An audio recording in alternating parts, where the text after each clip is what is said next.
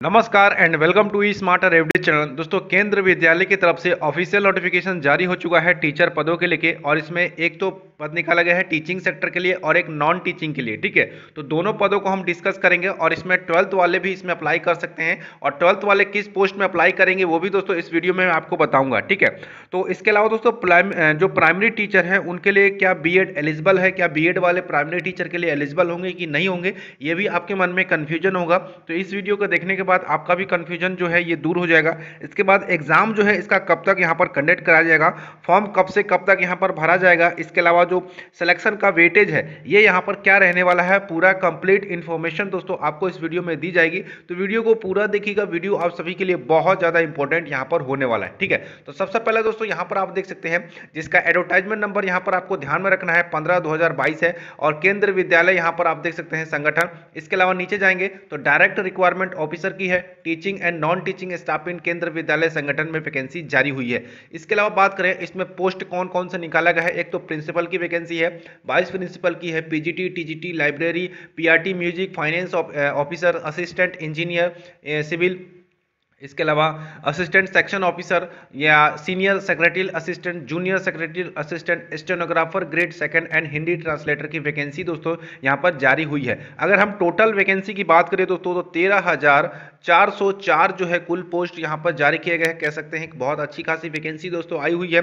और ये मौका आपको हाथ से नहीं जाने देना चाहिए। जो भी कैंडिडेट मतलब जो इसमें एलिजिबिलिटी मांगा गया है, उस एलिजिबिलिटी को पूरा करते हैं तो इस फॉर्म को आपको ज़रूर यहाँ पर फिलअप करना चाहिए। ठीक है? ऑनलाइन एग्ज़ाम होगा दोस्तों, कंप्यूटर बेस्ड टेस्ट यहाँ पर आपका होने वाला है और ऑब्जेक्टिव टाइप क्वेश्चन जो है आपसे पूछे जाते हैं, ठीक है? इसके अलावा यहाँ पर आप देख सकते हैं पोस्ट ग्रेजुएट टीचर की वैकेंसी है, जिसमें 1409 वैकेंसी है। इसी प्रकार से ट्रेन ग्रेजुएट टीचर टीजीटी की है, यानी कि तीन हज़ार एक सौ यहाँ पर छिहत्तर है। इसी प्रकार से लाइब्रेरियन की है, तीन सौ पचपन और यहाँ पर फाइनेंस ऑफिसर की है। इसी प्रकार से यहाँ पर आप देख सकते हैं, स्टेनोग्राफर ग्रेड सेकंड की यहाँ पर फिफ्टी है। अलावा कंप्यूटर साइंस का यहाँ पर आप देख सकते हैं और यहाँ पर नीचे जाएँगे तो मैं आपको बताऊँगा कि बारहवीं वाले किस पोस्ट में अप्लाई करेंगे। तो देखिए फ्रेंड्स बारहवीं वाले की बात करें तो बारहवीं वाले दोस्तों यहाँ पर आप देख सकते हैं ट्वेल्थ वाले की बात करें तो ट्वेल्थ वालों के लिए सिर्फ़ यहाँ पर दोस्तों दो पोस्टों में अप्लाई कर सकते हैं। एक तो स्टेनोग्राफर ग्रेड सेकंड में, जिसमें लेवल फोर के तहत आपको सैलरी मिलेगी क्वालिफिकेशन ट्वेल्थ पास होना चाहिए और स्किल टेस्ट में दोस्तों आपका टाइपिंग टेस्ट यहाँ पर किया जाएगा। पचास एम इंग्लिश का होना चाहिए सिक्सटी फाइव हिंदी का लिया जाएगा और डिक्टेशन यहाँ पर दस एम या अस्सी वर्ड पर मिनट के हिसाब से यहाँ पर ट्रांसलेशन यहाँ पर लिया जाएगा टेस्ट ठीक है? इसके अलावा बात करें जूनियर यहाँ सेक्रेटरियल असिस्टेंट का, इसमें लेवल टू के तहत आपको सैलरी मिलेगी और यहाँ पर दोस्तों ट्वेल्थ पास होना चाहिए और यहाँ पर टाइपिंग स्पीड जो है thirty five word per minute के हिसाब से होना चाहिए इंग्लिश का और हिंदी का दोस्तों थर्टी वर्ड पर मिनट के हिसाब से यहाँ पर होना चाहिए टाइपिंग टेस्ट आपका स्किल टेस्ट जो है, ये यहाँ पर कंडक्ट कराया जाएगा, ठीक है? और दोस्तों यहाँ पर सारी चीज़ यहाँ पर दी गई है। मोड ऑफ़ सिलेक्शन की बात करें तो दोस्तों रिटर्न टेस्ट के आधार पर सिलेक्शन किया जाएगा और डेमो इंटरव्यू और स्किल टेस्ट यहाँ पर कंडक्ट कराया जाएगा, ठीक है? मैं आपको परसेंटेज रेशियो भी बताऊँगा मतलब कितने रेशियो में यहाँ पर बांटा हुआ है मतलब कितने रेशियो के आधार पे आपका जो मेरिट है, वो यहाँ पर तैयार किया जाएगा, ठीक है? इसके अलावा दोस्तों, हम बात करें रिटर्न टेस्ट तो रिटर्न टेस्ट यहाँ पर असिस्टेंट इंजीनियर से लेके यहाँ पर स्टेनोग्राफर ग्रेड सेकंड का यहाँ पर जो एग्ज़ाम जो है, यहाँ पर कौन कौन से स्टेट में कौन सी सिटी में यहाँ पर कंडक्ट कराया जाएगा तो ये एक बार नज़र मार लीजिएगा। फॉर्म दोस्तों, यहाँ पर पाँच दिसंबर से चालू होगा, छब्बीस दिसंबर दो तक फॉर्म भरा जाएगा, ठीक है? तो अभी से आपको अच्छे से सारा जो भी यहाँ पर नोटिफिकेशन रिलीज़ हुआ है, अच्छे से आपको रीड आउट कर लेना है, ठीक है? एक एक पॉइंट आपको अच्छे से यहाँ पर चेक करना है, ठीक है? इसके अलावा दोस्तों हम नीचे जाएँगे, कैसे अप्लाई करना है? तो यहाँ पर दोस्तों आप जो है केंद्र विद्यालय के ऑफिशियल वेबसाइट पर जाकर आपको रजिस्ट्रेशन वगैरह करना होगा। रजिस्ट्रेशन प्रोसेस चालू होगा तो मैं दोस्तों इस पर वीडियो बना के आपको बताऊँगा कैसे आपको रजिस्ट्रेशन करना है। गलती मत कीजिएगा, जल्दबाजी में, समझ गया? यहाँ पर दोस्तों फ़ीस के बारे में बता रखा कितनी कितनी फ़ीस लगेगी, अगर आप जिस पोस्ट के लिए अप्लाई करेंगे। एक और चीज़ आपको गलती नहीं करनी है डीआरडीओ में दोस्तों बहुत सारे बच्चों ने गलती किया था ये गलती किया था कि एक ही पोस्ट में आप डबल अप्लीकेशन एक ही पोस्ट के लिए आप दो दो अप्लाई फॉर्म नहीं फिलअप कर सकते। अगर आप एलिजिबल भी हैं, लेकिन इसमें आप एक मतलब अलग अलग पोस्टों में फॉर्म फिलअप कर सकते हैं। एक ही पोस्ट में दो बार फॉर्म मत फिलअप कर दीजिएगा, नहीं तो वो रिजेक्ट कर दिया जाएगा। समझ गया? इंपॉर्टेंट डेट की बात करें तो पाँच दिसंबर से फॉर्म चालू होगा ऑनलाइन और छब्बीस दिसंबर 2022 तक फॉर्म फिलअप किया जाएगा। और रिटर्न एग्जामिनेशन का जो है, आपको के की वेबसाइट पे या अगर आपने इस चैनल को सब्सक्राइब कर रखा है तो आपको इसके रिगार्डिंग कोई भी अपडेट आएगा तो आपको इन्फॉर्म करा दिया जाएगा। तो चैनल को सब्सक्राइब करने के साथ साथ नोटिफिकेशन बेल को ज़रूर प्रेस करके रखें। ठीक है? यहाँ पर दोस्तों हम बात करें प्राइमरी टीचर के लिए यहाँ पर क्या क्वालिफिकेशन है?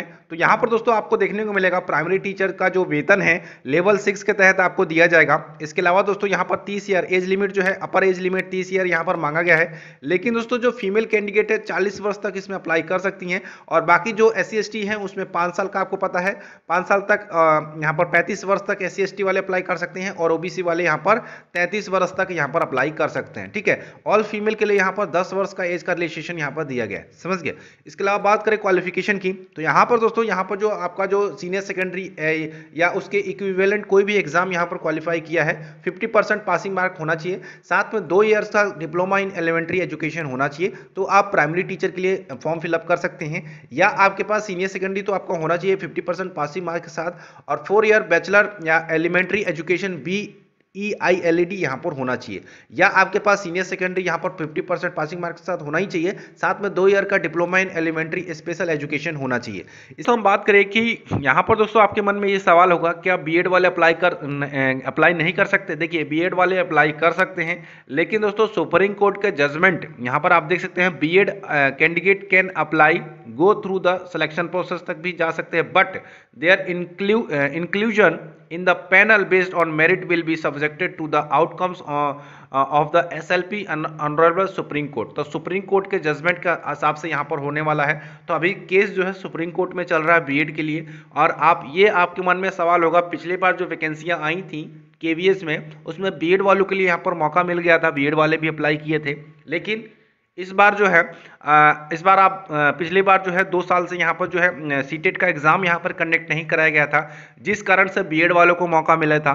इस बार जो है बीएड वालों के जिन्होंने सीटेट नहीं किया है सीटेट दोस्तों कब सीटेट नहीं किया है सीटेट का एग्ज़ाम यहाँ पर नहीं दिए हैं, उनके लिए दोस्तों यहाँ पर बाहर का रास्ता दिखा दिया गया है। प्राइमरी टीचर तो होना चाहिए बी के साथ साथ सीटेट का एग्ज़ाम यहाँ पर पेपर वन जो है क्वालिफाई होना चाहिए, तभी आप प्राइमरी टीचर के लिए एलिजिबल होंगे, यहाँ पर वर्क कर पाएँगे। समझ गए? इसके अलावा दोस्तों जो यहाँ पर दोस्तों, पहले से मतलब जो सीटेड का है, जो एग्ज़ाम है पेपर वन ये 26 मतलब फॉर्म भरने की लास्ट डेट तक पहले पहले आपका होना चाहिए, ठीक है? उसके बाद अगर आपने अभी फॉर्म फिलअप किया है सीटेट वाला, वो एग्ज़ाम अभी होने वाला है, यहाँ पर वर्क नहीं करेगा, समझ गए? तो वो आपका यहाँ पर काम नहीं होने वाला है।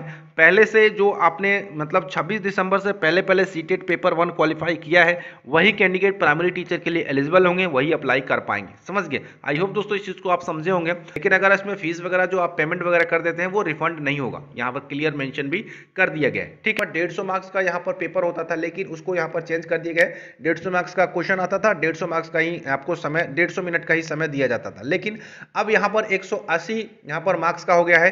एक आपको एक मिनट ही टाइमिंग मिलेगा मतलब तीन घंटे का समय मिलेगा। और तीन घंटे के समय में भी आपको 180 क्वेश्चन आपको करने होंगे। एक क्वेश्चन एक यहाँ पर एक मार्क्स का यहाँ पर दिया जाएगा। मतलब 180 क्वेश्चन 180 मार्क्स के हो गए। 180 मिनट आपको तीन घंटे का समय आपको मिल जाता है। ठीक है? नेगेटिव मार्किंग की बात कहीं भी कहीं नहीं गई है। ठीक है? नेगेटिव मार्किंग आपको नहीं मिलेगा। मतलब पेपर ही इतना यहाँ पर लेवल इसका हाई रहता है कि नेगेटिव मार्किंग की ज़रूरत ही नहीं पड़ती। इसके अलावा दोस्तों हम बात करें यहाँ पर क्वेश्चन बता रखा है part A professional and language से 20 क्वेश्चन, जिसमें जनरल इंग्लिश से 10 क्वेश्चन हो गए और हिंदी से भी 10 क्वेश्चन हो गए।